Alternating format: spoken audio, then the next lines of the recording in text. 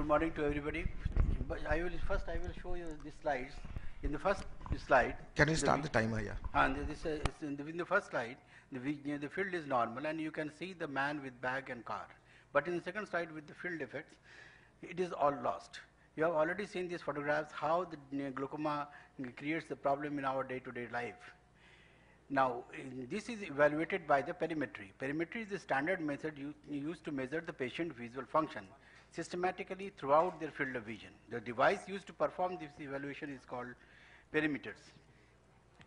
The spatial extent of the visual field of a person defined as a three-dimensional area in which the person can see at the direction of fixation without head and eye movement.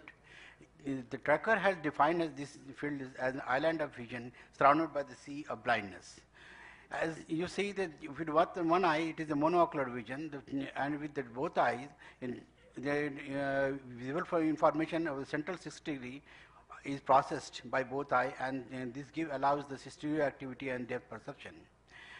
As you already uh, heard about this normal field vision, it in the central field it is the central 30 degree area and the peripheral field is the rest of the area beyond the 30 degree at the outer extent of the field.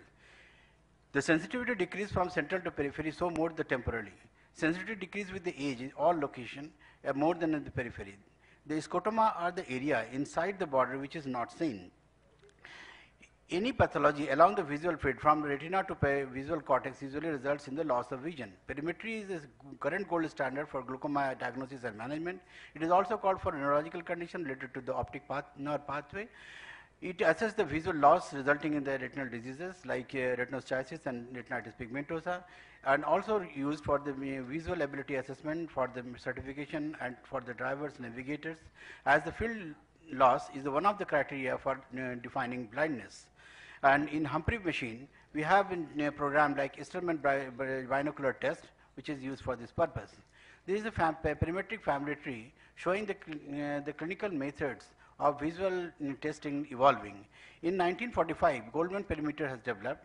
In 1975, the octopus uh, perimeter developed, and lastly, in 1984, the Humphrey has developed. The second half of the second century marked the development of modern perimetry. You have already seen this slide. This is the anatomical basis of the visual field. And the arcuate fibers are the most sensi- sensitive to the glaucomatous changes and, and, the, and stop at horizontal raphe gives to the nasal step. But the macular fibers are the more resistant to the glaucomatous damage and thus retain the central vision till end. What is the cause? It is no answer. Now you have already uh, heard about the uh, glaucoma field defects.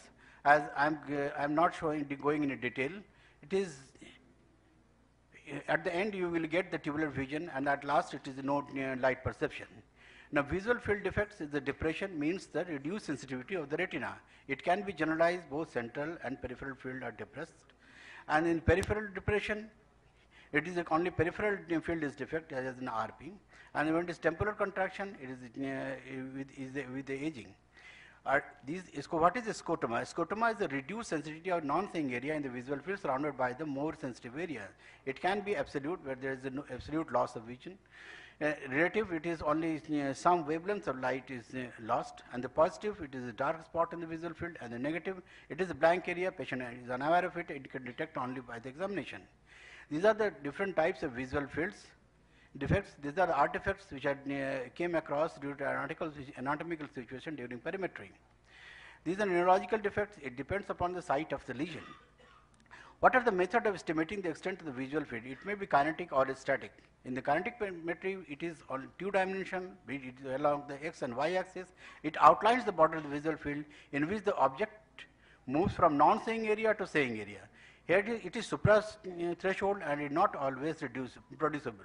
And each early and subtle changes can be overlooked.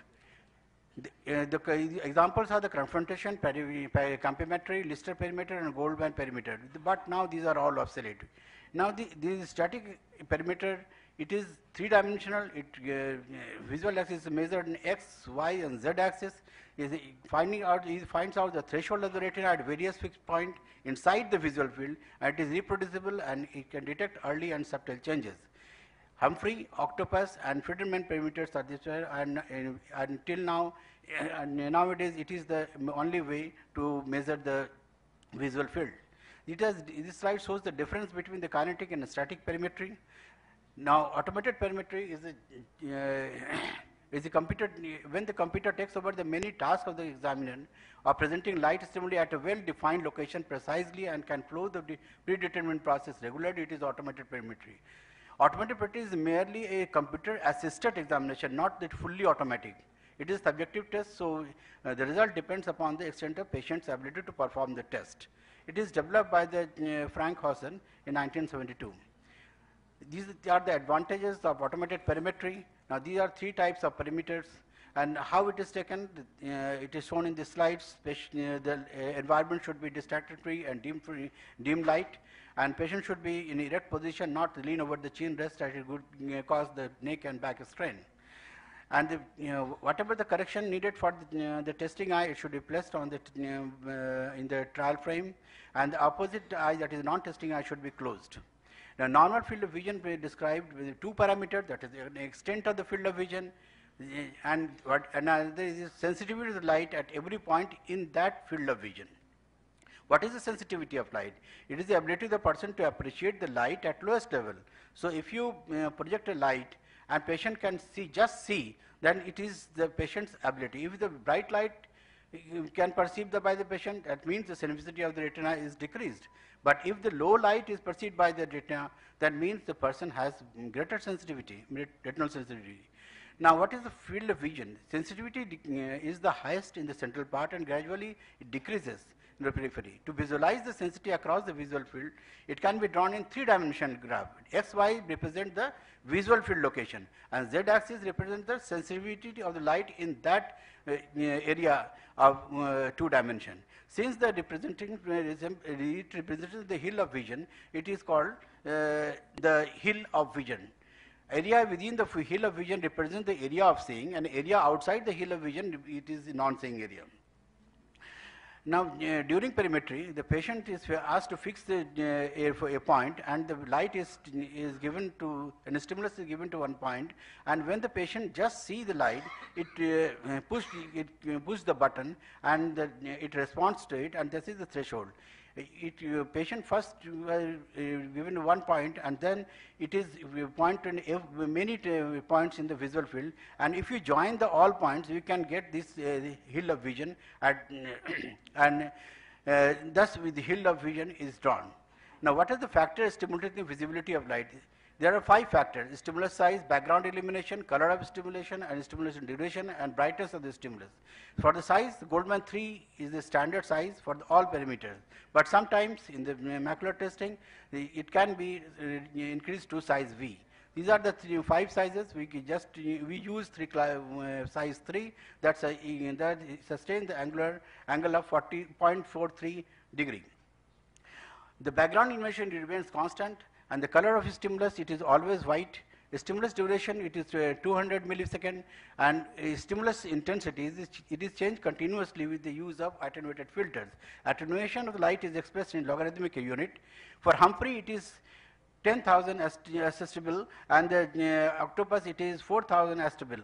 And the minimum intensity of the Humphrey is 1 ASB, and the octopus, it is 0.4 ASB. Now, but it is important to mention that during the entire period, size, color and duration of the stimulus along with the background stimulus will remain constant while the light intensity of the stimulus varies. Now it is a very important slide. Unit uh, the light in intensity is usually expressed in apostilb and the retinal intensity in the decibel. Apostilb is, is inversely proportional to each other it, uh, and the higher the decibel and lower the decibel. And similarly, Apostilb is the absolute uh, unit, and so 100 apostilb in for the both Humphrey and perimeter and octopus it is same. And relative, it is uh, but decibel is the relative unit and it depends upon the maximum intensity of light projected for each perimeter. So higher the uh, brightest light, so as the brightest light varies, decibel value also varies with the same intensity in both uh, uh, Humphrey and the octopus. Hence, the field out uh, field, field chart, uh, charted in the decimal on the two pay machine uh, is not compared accurately, and data could not be interchangeable.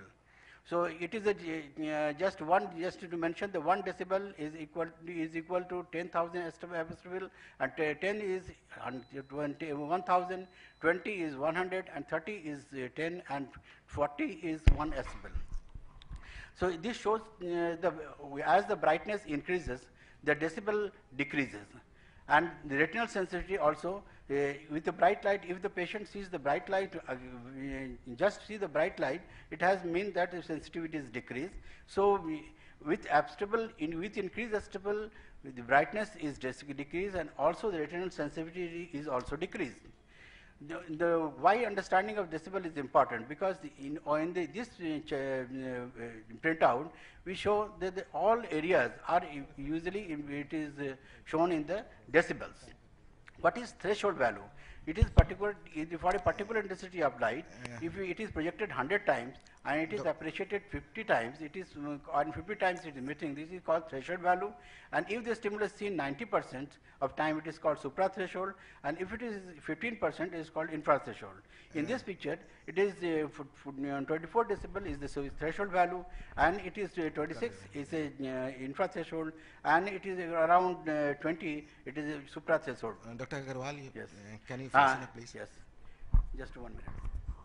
Now, this slide shows how the fall of retinal threshold uh, gives the retinal sensitivity loss. If we, uh, there is a loss of 3 decibel, then with our retinal sensitivity decreases by half, and if it is 5 decibel loss, then it is 1 the retinal sensitivity lost by 3. Now, in the Humphrey parameter, there is STATPAC. The STATPAC is a, is a uh, software, it is commonly analyze the, uh, for what it is, uh, the huge amount of number uh, in the, is stored in the computer, and this analyze the pattern and compare the stored data and perform all kind of analysis. Software includes the data collecting the field, that is point pattern and test strategy, and interpretation of the test spec, that is uh, single field analysis and uh, guided progressive analysis. What is p-value? P-value is the probability percentage. It is uh, assigned as a key uh, is a key pic- picture. If it is p-value is less than one percent, that is defect is seen only in the one percent of the normal population. Changes in this rate being the normal in one percent. Defect is not seen in the 99 percent of the normal population. The, besides the STATPAC, there are few other advanced techniques that SWAP, F- FDT, DP, and HPRP. But these does not the uh, out, uh, uh, this is the only the complementary test. It is not uh, uh, uh, just it is not uh, give the uh, uh, standard field analysis is not. you have to hand over the hall by. 10:25. Uh, The Okay. three speakers The left. data collection of fields are the point pattern, where the point was located and how it is test- test- tested. it is, it is uh, testing strategy. Already you have heard about that. These are all already uh, for the uh, testing, which is central field are generally uh, called for. For peripheral field, it is only the retinal diseases. Now, strategy testing, it is uh, supra threshold, it is uh, for the screening purposes, and it's a threshold. What we do is a full thresh, pa- stat, you know, fast patch, SITA, and SITA fast has already been described by our uh, previous speakers. Now, thank you, thank you to all.